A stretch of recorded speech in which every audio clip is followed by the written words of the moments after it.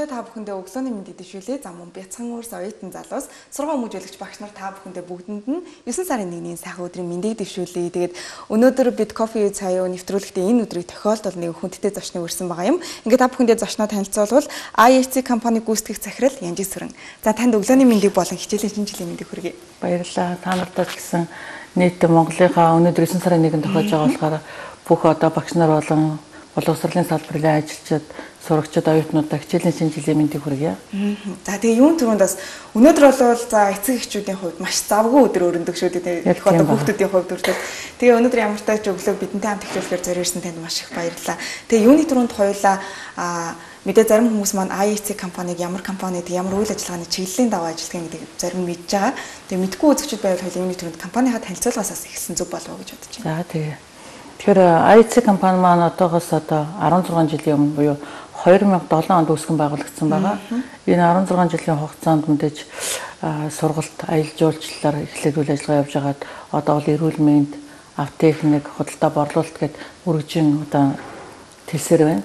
Тэгэхээр өнөөдрийн нэвтрүүлэгт би хичээлийн шинэ жилтэй холбогдуулаад оролцож байгаагийн хувьд сургуулийн байгууллагынхаа аялын бүтээгдэхүүн мөн солонгос чиглэлтэй хэлний бэлтгэл бакалавр магистрт хэрхэн суулцах талаар мэдээлэл өгөрсөн байна. Тэгэхээр ямар ч юм миний хувьд бол яг өнгөрсөн жилээс IHC компаниг одоо нэг маш олон чиглэлээр үйл ажиллагаа явуулдаг. Тэр дундаа Солонгос улсын одоо сургуулиудтай ингээд туршлага солилцох, за хүүхдүүдийг бас тэнд одоо байрлуулад одоо өөр сонирхч зүйлс үзүүлэх тийм үү те ийм зүйлээр бас их яв тийм байна гэдгийг мэдсэн л дээ. Тэгэхээр энэ тухай та бас онцолж ярил. Тэгээ энэ маань бол ерөөсөө уламжлал болсон байгаа. Хамгийн анх 2017 оноос хойш явж эхлэгдээд тэгээд тэрнээс хойш бол мэдээж нөгөө хүмүүсийнхаа хүүхдийнхаа тоогоос хамаарат кемп хэлбэрээр явагдсан байгаа. Сая 2023 оныхаа энэ 7 сарын 26-наас 8 сарын 11-ний хооронд бас кемпээ зохиогоод хурж ирсэн байгаа. Хамгийн анхлан бол мэдээж тархицсан ойлголтгүй хүүхдүүд маань кемпэд хүүхдүүдээ ээж аваа маань өгөхөд бас тийм ойлголтгүй байсан үед бол 40 50 хүүхд явж исэн бол ойлголтыг хүлээж авснаасаа хойш бол 170 хүүхдийн бүрэлдэхүүнтэйгээр бүр ингээд кемп маань өргөжин тэлж одоо явсаар байгаа. Тэгэхээр ер нь бол маш олон сургуулиудтай хамтарч ажилладаг. Ялангуяа ихтэй сургууль тэргээд маш олон сургууль гэдэг юм лээ. Тэгэхээр та тэр дундаасаа одоо илүүтэй очих дуртай ч гэх юм уу хүүхдүүдийн маань бас сонирхдаг сургуулиуд байдаг. Тэр солонгосын сургуулиуд бол бүгдээрээ л одоо магадлан итгэмжлэгдсэн олон улс хүлэн зөвшөөрөгдсөн байдаг болохоор тухайн хүүхд маань ямар мэрэгчлэр мэдээ суралцах чинь бакалавр ямар мэрэгчлэр ирээдүйг одоо боловсролыг эзэмшиж байгаа учраас тэр чиглэлийнхаа дагуу сургуульдаа илүү сонирхож байна л да. Тэгээд дээрэс нь бас яг мэдээж төлбөр мөнгөний тий санхүүгийн боломж нь юу вэ гэсэн тэрийг бас харж байгаа талч бас байгаад байгаа. Тэгэхээр манай компани хувьд бол Инчон дахь инхаа их сургуультай эсэлт авж байна. Сөүлд болохоор инженер технологийн их сургуульд эсэлт авж байна. Тэг Тэгүү комед байрлалтай Кён их сургуульд эсэлт авж байгаа мөн сая Гожо их сургуулиуд бас одоо эсэлт авж байгаа. Энэ сургуулиудын маань онцлог нь гэх юм бол одоо батлан даагчтай юу батлан даагчгүй гэдэг хүмүүс одоо яг телевиз үзэгч нар бас яг одоо мэдээж солонгос чиглэлтэй сургууль гэхээр солонгосын сургуулиуд маань тийм хоёр ангилалтай байгаа байхгүй юу. Тэгэхээр тэрийг илүү бас сонирхож байгаа байх гэж бодож байна.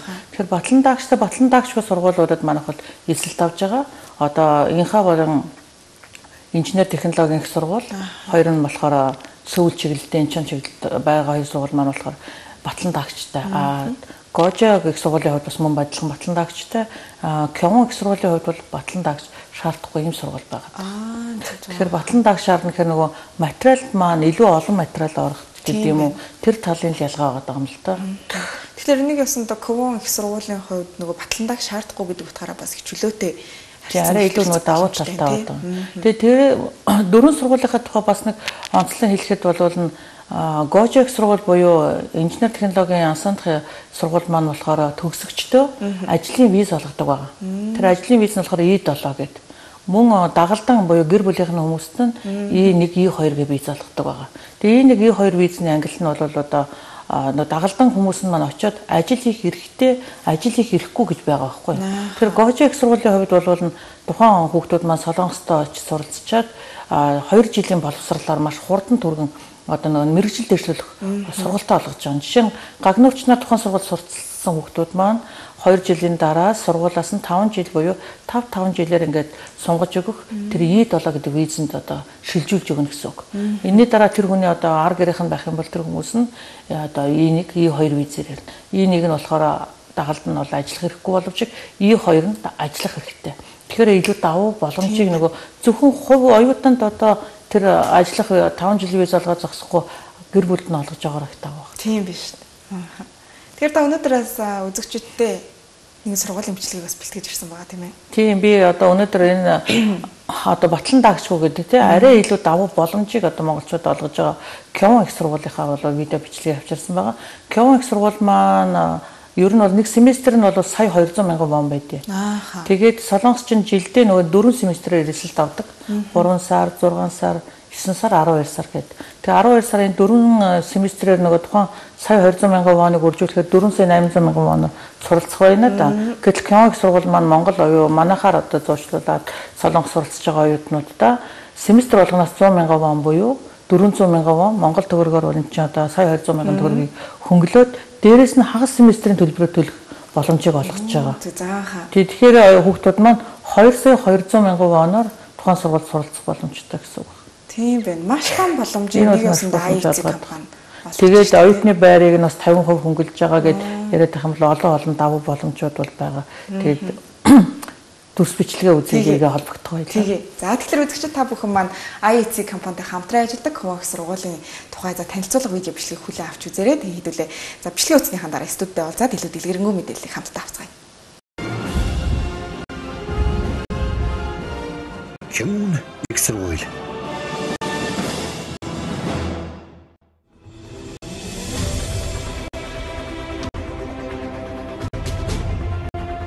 Гянуун цогцлбор их сургууль нь Хөмийн хотод 1997 онд үүсгэн байгуулагдсан бөгөөд бакалаврын 6 салбар сургуулийн 23 дигэмтэй, магистр докторийн 3 салбар сургуулийн 19 дигэмтэйгээр үйл ажиллагааг нь явуулж байна. Тус сургууль нь 2000 онд магистр докторийн сургуулиар нээж 2001 онд бүгд найрамдах Солонгос улсын их сургуулиудаас шилдэг шилдэг их сургуулиар шалгаж байсан бөгөөд төгсөгчдийн ажлын байртай болох үзүүлэлтээр хамгийн өндөр үзүүлэлтийг хангаж ирсэн. Ийхүү төгсөгчдийн ажлын байрны үзүүлэлтийг 2009 онд дахин баталж тэргүүн байранд шалгарсан ба энэ амжилтаараа одоо хүртэл эхний тавд багтаж байна. Мөн Чонмун их сургууль нь бизнесийн төлөвлөмжийн салбарт өөрийн харьяа 13 байгууллагуудтай хамтран глобал даяарчлалын энэ 90 зуунд хөл нийлүүлэн амжилттай урагшилж байна.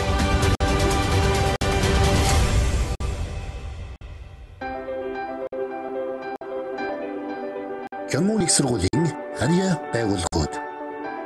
Барилгын компани боловсролын телевиз хэвлэлийн газар Дүнхээ судалгааны төв дизайн центр нэгдсэн төв номын сан эл Актем хэлний бэлтгэлийн төв урдчлан цэрэг бэлтгэлийн төв цахим мэдээллийн төв оюутны дотор байр Куст центр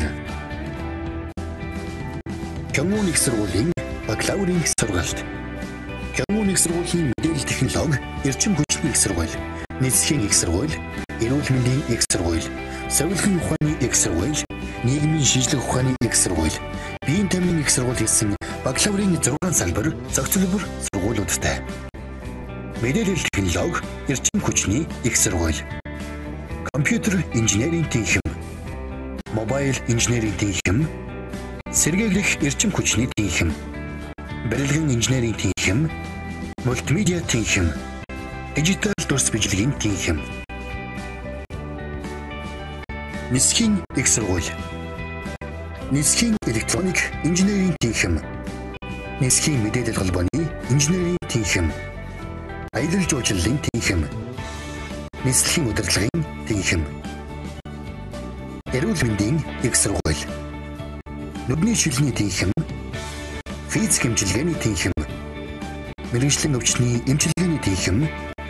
Шүдний эрүүл мэндийн тэнхим био эрүүл мэндийн тэнхим, эрүүл мэндийн менежментийн тэнхим, совилогчийн их сургууль, совилгын ухааны тэнхим, нийгмийн шинжлэх ухааны их сургууль, цагдаагийн тэнхим, нийгэм халамжийн тэнхим, цэргийн тэнхим, биеийн тамирын их сургууль, бие хамгаалагчийн тэнхим, биеийн тамирын тэнхим. Хямуун их сургуулийн магистр докторийн сургалт. Хямуун их сургуулийн магистр докторийн эсэлд жилд 2 удаа явагддаг бөгөөд гадаад оюутнууд тухайн эсэлтээс 3-аас 4 сарын өмнө бүртгүүлэх шаардлагатай байдаг.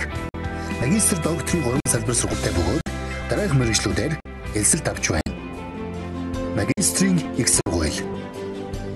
Мэдээлэл технологи, эрчим хүчний тэнхим, нүдний шилжний технологийн тэнхим, физик хэмжлэгээний тэнхим, шүдний эрүүл мэндийн тэнхим, клиник сургалтын тэнхим, цагдаагийн удирдлагын тэнхим, бие хамгаалагчийн тэнхим, биеийн тамирын тэнхим, барилга орчны тэнхим, бизнес удирдлагын тэнхим, аялал жуулчлалын тэнхим, мэрэгжлийн эмчилгээний тэнхим, нүдний чилний технологийн тэнхим, мультимедиа тэнхим, гэрэл зураг дүрсгэлийн тэнхим, докторийн их сургууль, цагдаагийн удирдлагын тэнхим, бие хамгаалагчийн тэнхим.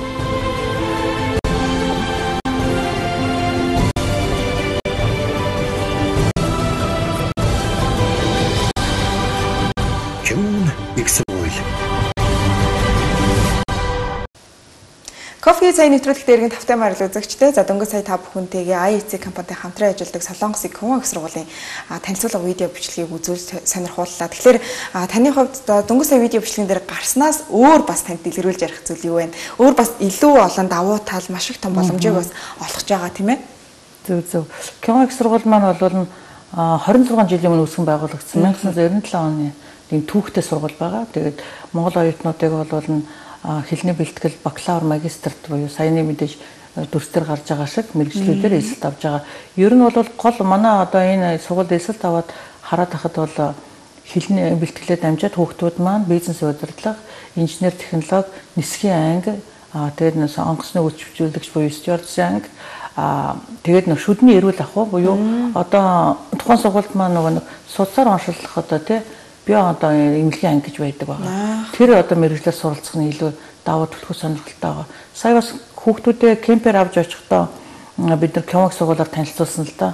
Тэгэхэд хүүхдүүдэд бол яг тэр одоо шүдний эрүүл ахуйн одоо тэр тоног төхөөрөмж одоо боловсон одоо хүүхдүүдэд хичин хичээлэг одоо мэрэгжлийн анги дээр гарчаад одоо хүүхдүүд одоо нөгөө дадлаг хийж байгаа шүү дээ. Гэтэл гिचээл нь шууд дадлагтайгаа цуг уйлдаж явд юм бэл. Шууд сургууль дээр Тэр нэг давуу талтай. Одоо шүдээ гэхэл яг хүмүүсийн одоо шүдийг хэрхэн яаж одоо хийв гэсэн оюутан болгонд одоо нэг тоног төхөөрөмж хамтдаа одоо байж идэг гэх юм одоо тэгээд тэгээд дадлаг сургуульд хоёр нь хосолсон хичээл практик хоёр явж байгаараа илүү даваа байсан. Мөн тухайн сургууль маань зөвхөн оюутнуудын кемп хийхгүй сургуулаа танилцуулах холбогдлолтойгоор бол багш нарыг ч гэсэн сая бас авчиж бид нэр сургуультаа бас дэдвэрөнгөө танилцуулсан байгаа. Тэгээд кемок сургуулийн одоо монголчууд олгож байгаа гол давуу тал гэх юм бол хагас семестрээр буюу 200 200 мянган воноор сургалтын төлбөрөө авж байна. Дээрээс нь оюутны байр 50% хөнгөлж байна. За хэлний бэлтгэл бакалавр магистрт да эхний семестр 100% тэтгэлэг болгож байгаа. Энийг гураа давуу талтай. Тухайн оюутнууд маань жишээ нь хэлний бэлтгэл гадаадад солонгостой ер нь 2 жил сурах хэрэгтэй байдаг байхгүй юу? 2 жил сурчаад солонгос хэлний нэгээс 6 төвшингийн 3 4 дугаар төвшинг авч иж тэр хүүхд маань одоо бакалавр магистрт ордог. Аа гэтэл нөгөө хүүхд маань оноо дутчих юм бол орж чадахгүй байна да.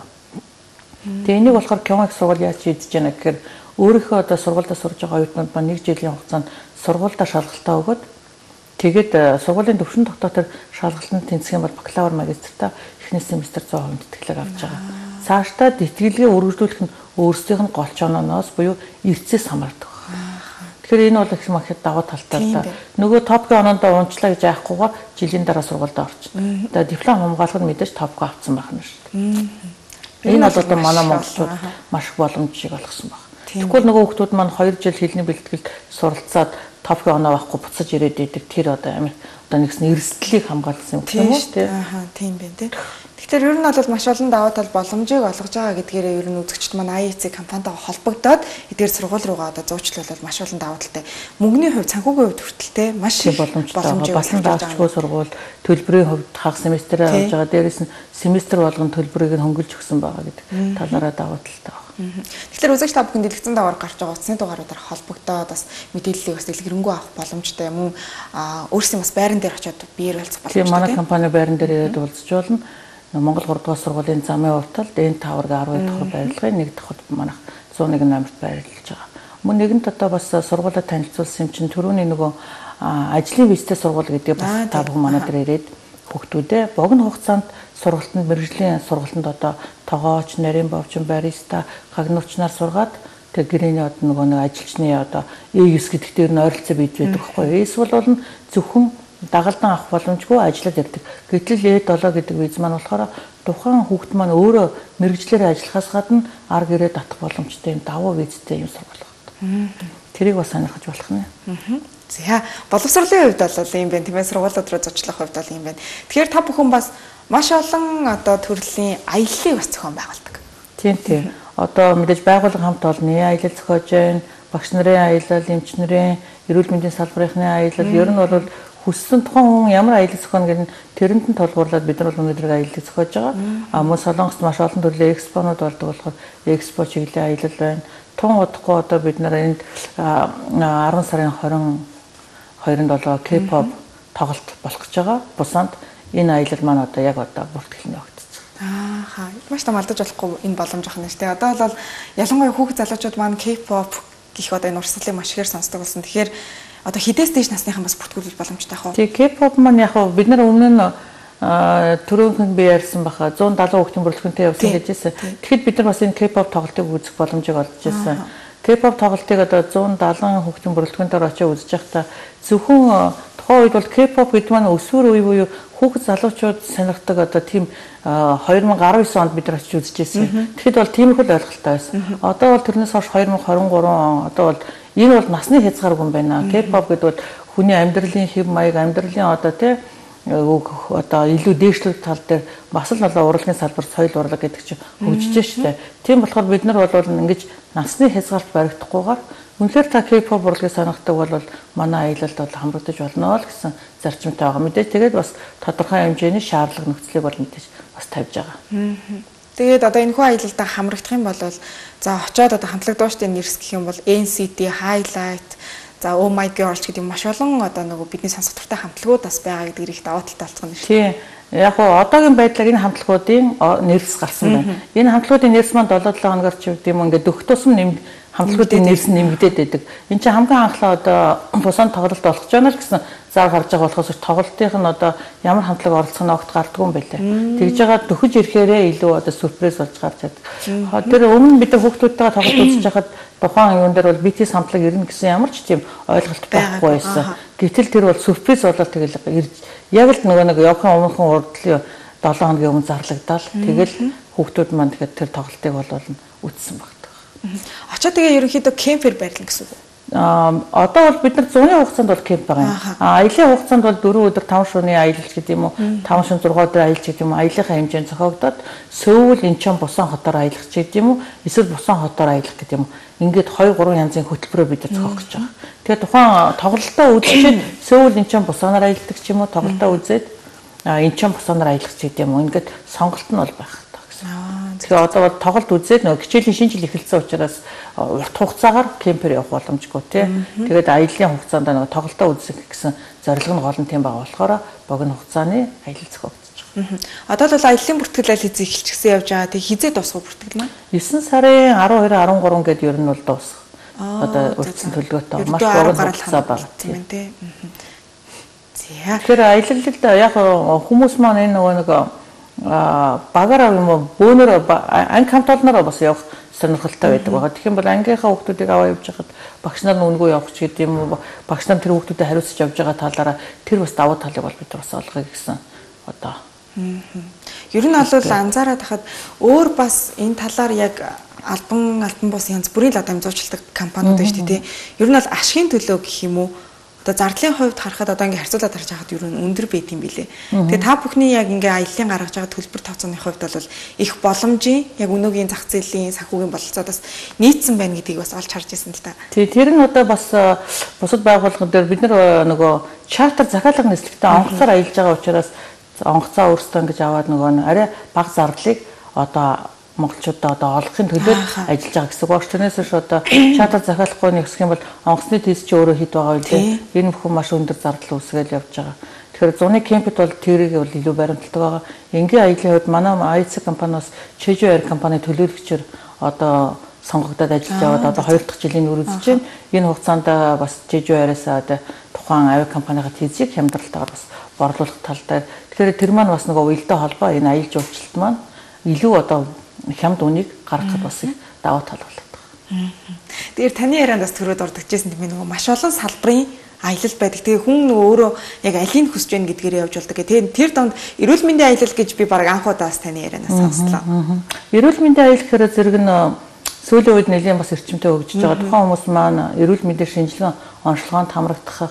Тэр шинжилгээ онцлогоонд хамрагдчихад солонгостой аялчаад дараа нөгөө шинжилгээ онцлогоо нь ямар шуу гарч ийн тэрнийхээ дагуу дахин явж үзүүлэх ч гэдэм үү те энэ тал дээр их давуу боломжтой байдаг. Манайхч бас солонгосын олон нийлэгтэй одоо холбоотой ажиллаж эрүүл мэндийн салбарт бас чиглэлтэй аяллыг маш их төлхөө бас сүүлийн үед бас зохиогдож байгаа. За.